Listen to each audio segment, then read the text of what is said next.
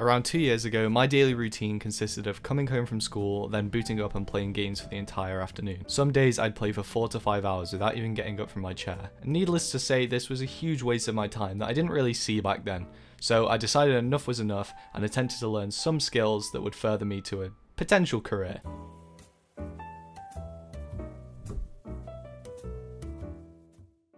Obviously, I got ahead of myself and started to jump straight into the deep end with things like how to learn AI and how to learn penetration testing, but these were a little hard and honestly a little boring, so I thought I'd step back and try to make something I was very passionate about video games. One of the first things I did was search up how to get started with game development, and to be honest, I was a little overwhelmed with the choice of engine, language, and teacher, but came across a channel I really enjoyed called Blackthorn Prod.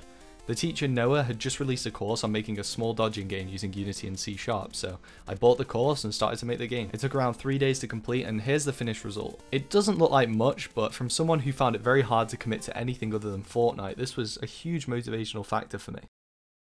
So with my newfound confidence, I did what every novice programmer does and jumped headfirst into my first AAA success. Have you ever heard someone say, did you know? If you slap a chicken a million times, it cooks it. Well, that is the basis of my hit indie game Chicken Slapper. Chicken Slapper is a clicker game where you slap a chicken and it cooks. And not to brag, but it may or may not have gotten 4 downloads on the Google Play Store, so, you know. It didn't get past version 2, but it taught me a valuable lesson. Scope creep. I was way too ambitious, so it was time to move on to other projects.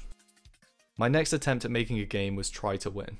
This idea spawned from those old Flash Rage games, you know the ones I'm talking about. It's essentially a maze with some obstacles that you have to navigate. The ship is constantly moving towards your cursor, if it touches it or one of the walls, you restart the level.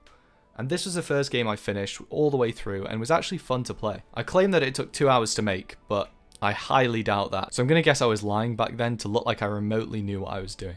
I didn't do too much for a while after Tri to Win. I made a few little prototypes, but nothing really stuck. I made a Pong game using physics for some reason, a Pac-Man remake that doesn't even deserve to be talked about, but ultimately a few months went by with nothing new. By this point, around 8 months had gone by since that first game, and I felt like I hadn't really done much.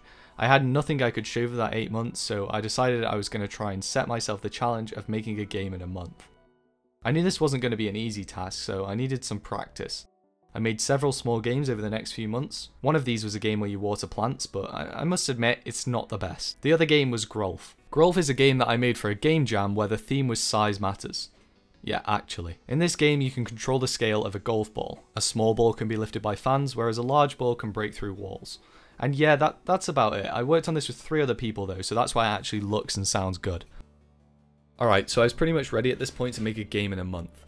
The idea I came up with was a speedrunning game where you play as a car, and here it is, Exhausted. This game was also the first video I uploaded to this channel. I uploaded three devlogs and they were absolutely terrible.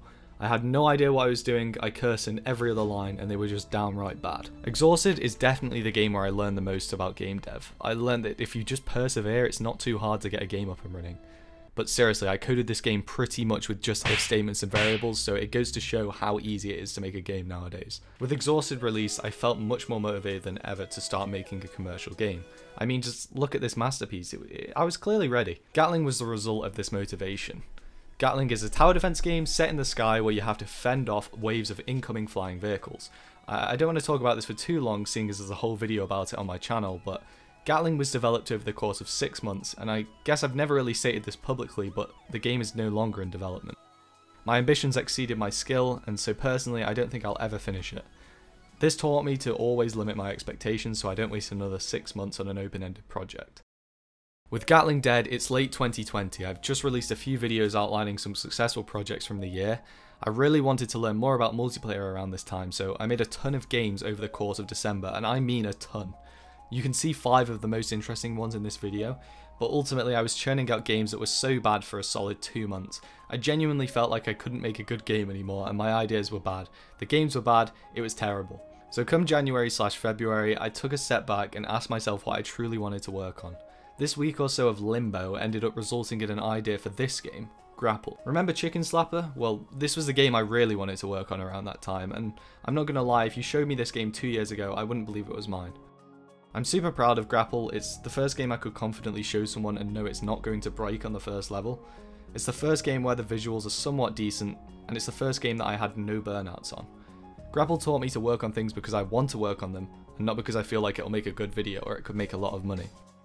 Currently, I've made nothing from any of my games, but I am happy that they're out there, and I'm happy that I have an audience to share them with. I hope this video inspired just one person, and I'm looking forward to showing you the games that I've made in two years' time. Cheers.